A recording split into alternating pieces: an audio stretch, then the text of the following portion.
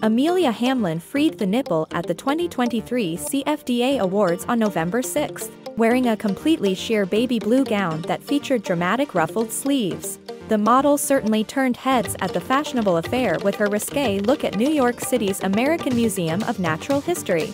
For the special occasion on November 6, the daughter of Lisa Rinna and Harry Hamlin freed the nipple in a bright blue Alaïa gown.